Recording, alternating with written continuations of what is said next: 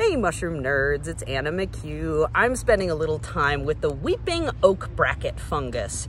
The scientific name for this fella is Pseudo-Inonotus dryadeus. And all that really means is the fake Inonotus that grows with oak trees. And so this is an inedible mushroom. Uh, it is rock hard, although it is a little bit soft and almost furry on top. If you live in Raleigh, now you know exactly where I am. Uh, anyway, uh, to look a little closer here, so we have this sort of yellowy brown fruiting body, and it is, as I mentioned, rock hard, more or less. And it, it has a little bit of resonance, like a little bit of a um, hippie drum thump, so that's pleasant, but you certainly can't harvest and eat it. The thing that makes this mushroom really neat and gives it its common name, let me see if I can bring my camera down to the level of this lovely oak bracket. And so you can see it has what's called guttation. So it's this sort of uh, droplets of amber or brown. Sometimes it's more yellowish in color uh, that accumulates on this yellowish brown surface of the fruiting body.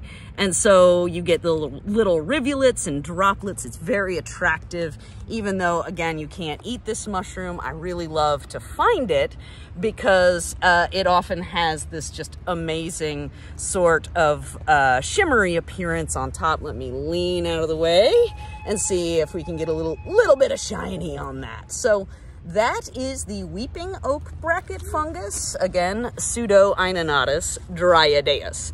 Now I want to talk to you about the Pseudo-Inonotus part just a little bit because, uh, again, it means fake Inonotus. And Inonotus obliquus is a really prized medicinal mushroom commonly called chaga. And so if you buy mushroom coffee or mushroom supplements, you'll oftentimes have chaga in those blends. And uh, it is a mushroom that grows exclusively on birch trees, which means that it's largely in northern latitudes where it's much, much colder. Now, I mention it because we see a lot of activity in folks who are trying to get identification. They'll find, uh, you know, flaws on trees, especially cherry trees, and, um, you know, sort of other charcoaly looking bits and they oftentimes mistake it for chaga. And so I mention that because, you know, really if you see something that is sort of charcoaly and crumbly growing on hardwood trees, especially cherry because they look a little bit like beech, they have sort of smoother silvery bark. Uh, it is very unlikely if you live in North Carolina or the southeastern US that that's what you have. Again, uh, birch trees are very much instrumental to uh, chaga's life cycle. I don't know much about the medicinal properties. I do want to talk a little bit about its life cycle because it is a super cool fungus in some ways. So um, it is a mushroom that essentially creates fruiting bodies and the things that we consume in our teas and so forth. Is sort of this hunk of what looks like charcoal kind of and it often has a little bit of uh, you know medium brown dusting on the outside but it definitely looks very unlike a mushroom that you would eat.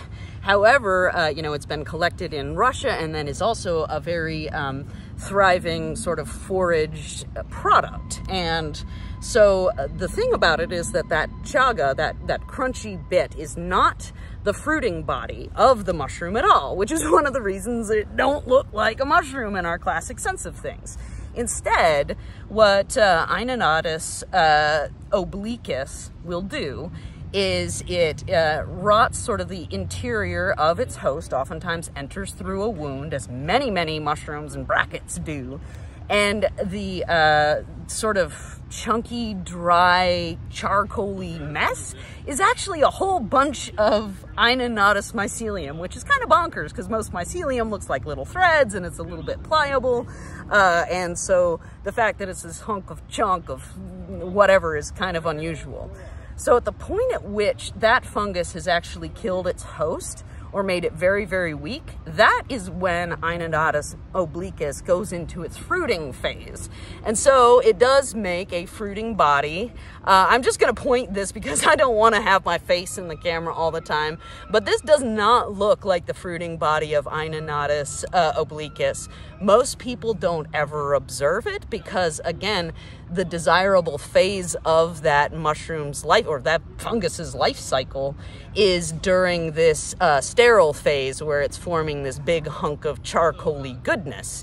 And so once it does fruit, it also uh, grows underneath the surface of the bark. And so even if you're looking out for it, you're pretty unlikely to see it. And so this is one of those interesting moments where mushrooms will be even more obscure. So like there are a lot of mushrooms that form these things called sclerotia, which are little um, tubers, little truffles, and that's where they create their spores. And similarly, the chaga mushroom, it has this little fruiting body that is very rarely observed.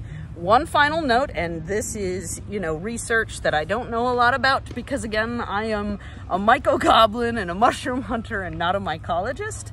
However, I attended a really cool talk at uh, the North American Mycological Association Foray in 2015. So this is a minute ago. But uh, there was a fella there, his name's Britt Bunyard, and he is a very noteworthy person in the world of North American mycology. And he did uh, a lecture about chaga and its life cycle. And so this is kind of how I got my head around this whole strange uh, scenario. And one of the things he talked about is how there is some good evidence that there is a beetle that um, actually will consume pieces and parts of that fruiting body.